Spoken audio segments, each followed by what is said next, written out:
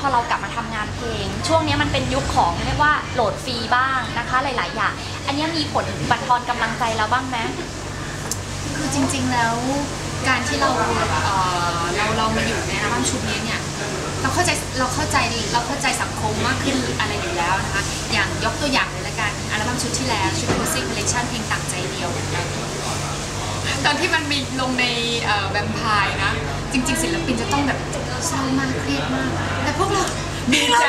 เฮ้ยแสดงว่าเพลงเราคนรู้จักกันเนี่ยอะไรเงี้ยเฮ้ยมีคนลงด้วยอะอะไรเงี้ยดีใจฮะก็บอกแม่สายมีขายด้วยอะโอ้ดีใจเราก็เป็นนิยมนะมีคนรู้จักใช่ครับผมก็คือมันย้อนกลับไปชุดแรกด้วยครับชุดแรกเราค่อนข้างจะเฟลมากจริงๆบอกว่าเฟลจริงเราขึ้นดนตรีเล่นดนตรีเล่นคอนเสิร์ตเนี่ยคนนั่งดูเฉยๆแบบ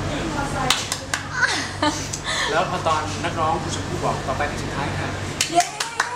ดังมาก คือแบบเราบอกเลยว่าเราลงมาแบบเขาน้ำตานะคือเราแบบเราเสียใจแบบเราบ้างนะคือบอกเลยว่าคือมันผ่านอะไรไปเยอะคือมาถึงวันนี้เนี่ยเราผ่านอะไรไปเยอะมากตั้งแต่ชุดแรกอย่างเงี้ยแต่จแต่พอริงๆมันกลายเป็นมันกลายเป็นภูมิคุ้มกันให้พวกเราถูกต้องครับเพราะฉะนั้นทุกวันนี้เวลาเราขึ้นคอนเสิร์ตลงมาคนมากคนน้อย เราก็เราก็มีความสุขค่ะ ว่าเราผ่านเราผ่านแล้วบอกว่าเราจุดนี้ที่บอกจุดที่สองเลยบอกว่าพอกันถ่ายเอาไปดีใจโอ้แต่ว่าคือคือจริง ๆ แล้วคือมันก็เป็นมุมมุมตลกตลกคือมุมเล็ก ๆ แต่จริงๆที่เราเครียดเราไม่ได้เครียดเพราะตัวเราเองเราเครียดแทนค่ายสำหรับอัลบั้มชุดนี้นะคะ Wind-Up City เพราะว่าอะไรเพราะว่าเพราะว่า Spicy Disc ลงทุนให้เราเยอะมากเขาเหมือนกับว่าเขาเห็นศักยภาพเราเขา เขาถามหาตลอด คือสังเกตว่าศิลปินเดี๋ยวนี้ค่ะ จะออกอัลบั้มกันยากมาก จะออกเป็นซิงเกิลซิงเกิลแต่ว่าละอองฟองค่ายถามตลอดว่าเสร็จหรือยัง เมื่อไหร่จะออกอัลบั้มไม่เชื่อนะครับว่ายังมียังมีผู้สนับสนุนอย่างเป็นทางการที่อยากให้เราออกอัลบั้มเต็ม ใช่ซึ่งบัตเจ็ตมันก็ไม่ได้น้อยนะครับ เราเคยถูกถามนะครับไปถามเราก่อนอัลบั้มออกว่ากดดันหรือเปล่าเครียดหรือเปล่าเนี่ยออกมาแล้วไม่ดังไม่มีชื่อเสียงเราบอกว่าไม่เครียดหรอกครับเพราะว่าสองอัลบั้มแรกก็ไม่ดังอยู่แล้ว แต่เรากดดันเพราะว่าเรากลัวว่าต้นสังกัดเราจะขาดทุนเพราะว่าทุกอย่างการลงทุนคือธุรกิจนะครับ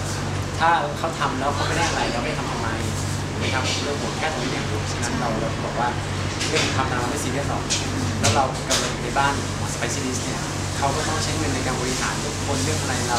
เราเป็นหน้าที่ศิลปินเราต้องทำหน้าที่ของเราให้ดีที่สุดเพื่อให้เขามียอดขายสูงขึ้นฉะนั้นเราก็เลยแบบ มีอะไรเราก็ยินดีทำค่ายทำอะไรก็ทำอะไรอย่างเงี้ยค่ะ ไม่เรื่องมากพยายามเรื่องยอดขายพยายามไม่เรื่องมากถูกต้อง เรื่องยอดขาย จริงๆ เท่าที่ฟังจุดเด่นเหมือนวงละอองฟองเป็นวงที่คิดบวกถูกต้องครับ มากนะคะ แล้วก็